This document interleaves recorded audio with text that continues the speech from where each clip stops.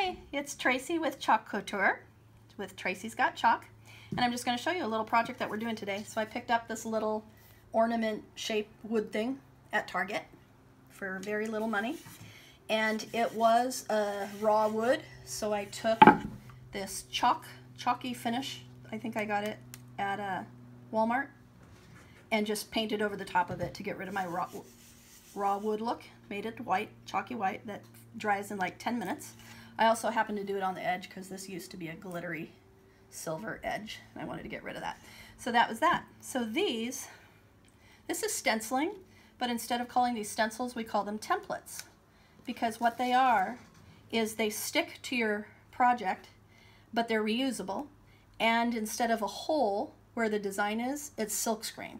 So you also get your design in your painting, gets really accurate finish work when you do it. So let's just kick right into it. I have, we're going to do snowflakes, then we're going to say sparkle, and it can hang on the wall and be a decoration. I'm going to use aquamarine and Caribbean colors for the snowflakes. Kind of backwards. I know snowflakes are usually white, but we're going to go backwards. So this is my squeegee.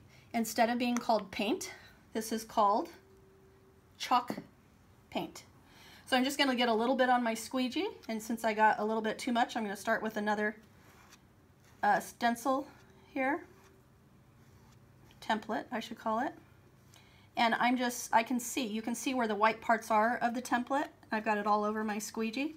So I'm just going to move it. I just kind of squeegee and grab the paints like cleaning windows. And I see this one little white spot. So I'm going to move it over there and you can see as I did that I got it on the edge but it's no big deal because it wipes right off. It's water water based and it comes right off. So I just moved it over to my other one here and then I'm just going back over it to get my excess paint. So that was our one color. I'm going to just get it off here. This is the thing that seals it to keep in your moisture and then just put back on the lid. These do dry out really fast and you can add your own water to get it the texture of pudding or I call it frosting. So these are just my little squeegees. I'm to put some in there. Now we're going to do the big one. Just pull it across. And because you get the excess off at the end, you really don't have to be worried about getting too much on your squeegee, but I find that I still, like that's how fast you can do it. And what I do now is I'm just going to pull these off because the pattern is done. I'm just going to put them on the side here on my tablecloth. That's a trash tablecloth. And look at the precision you get and the detail that you get in these things. And you can see that I got some paint on my deal there. So I'm going to get my little wipey and it should wipe right off. And if it doesn't, then I can just go over it with my white chalk paint. But I always have these disinfecting wipes. And you see that it took my little goof right there. And I think I had one right here.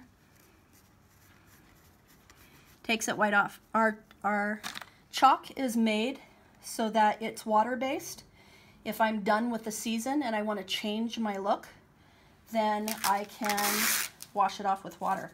If I don't want it to be um, washable and I want it to be a permanent thing, then I can seal it. So it's really easy. Let's do, before I do the word, let's do, so these are the templates. They just come off of your, um, come right off of the backing. We'll do this color again.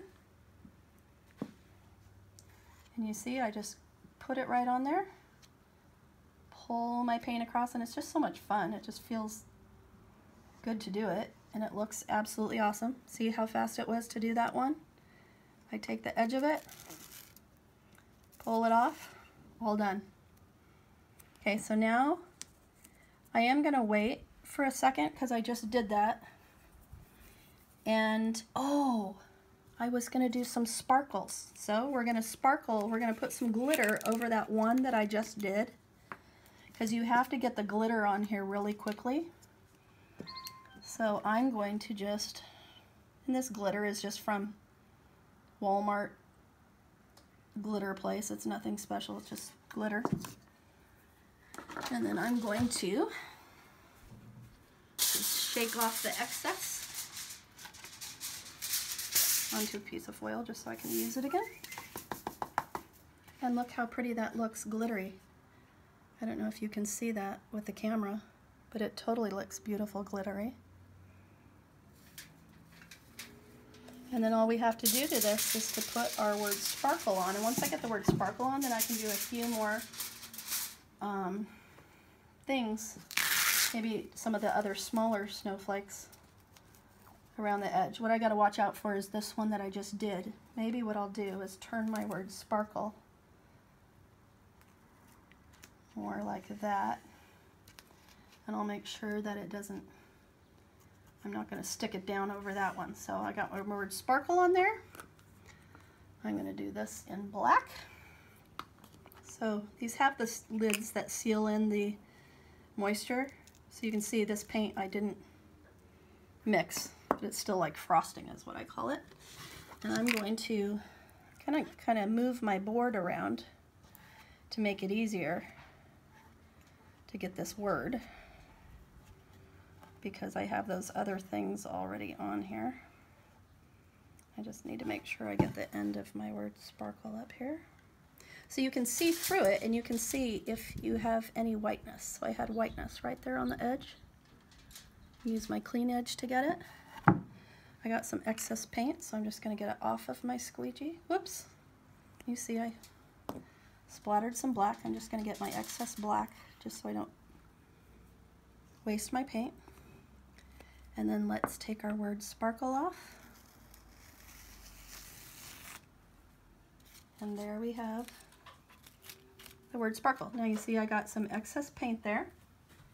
Let me get that off.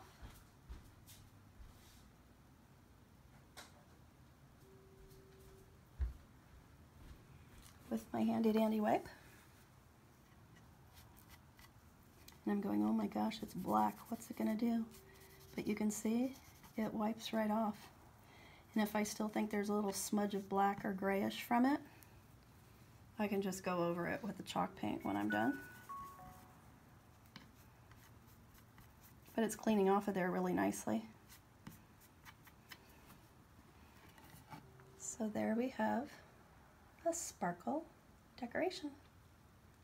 Thank you. That's how easy Chalk Couture is.